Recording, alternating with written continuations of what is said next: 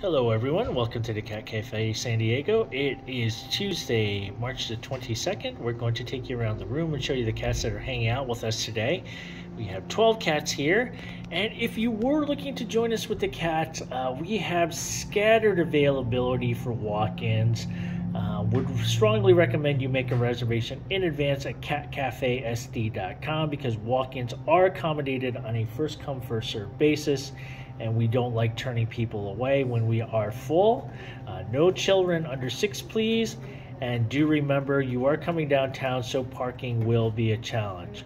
All right, on to the cats. Uh, right over here, we have Olaf. Now, Olaf, don't fall in love with this guy because he is going home today. He is part of a bonded pair.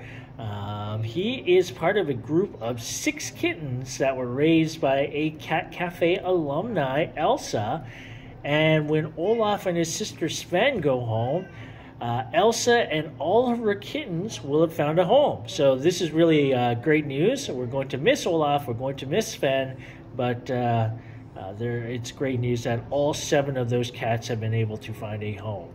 Um, so moving along, uh, I hear Jacey talking. I'm not sure where she is, but uh, she's somewhere around here. I'll find her.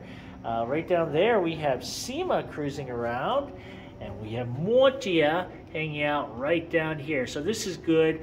Um, these guys are getting more comfortable. They're a group of four, part of a group of four cats that uh, had to uh, come to us, and the rescue house picked them up and brought them into here.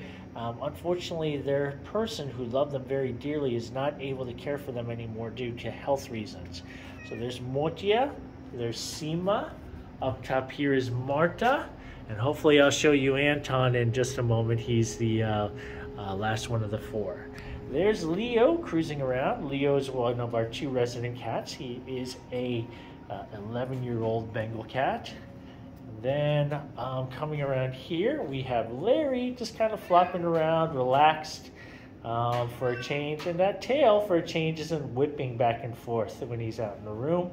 Jacey is back here hanging out. I knew I heard her talking, and uh, there she is. She is our other resident cat. She is a 13 year old silver Bengal, and she's always got a lot to say. All right, those are the cats that are hanging out with us today. If you were looking to join us as a walk in, it's going to be tough. We have scattered availability throughout the day. Folks, it's best if you make a reservation in advance at catcafesd.com. Remember, no children under six, and you are coming downtown, so be ready for parking challenges. Thanks, folks. We'll see you soon.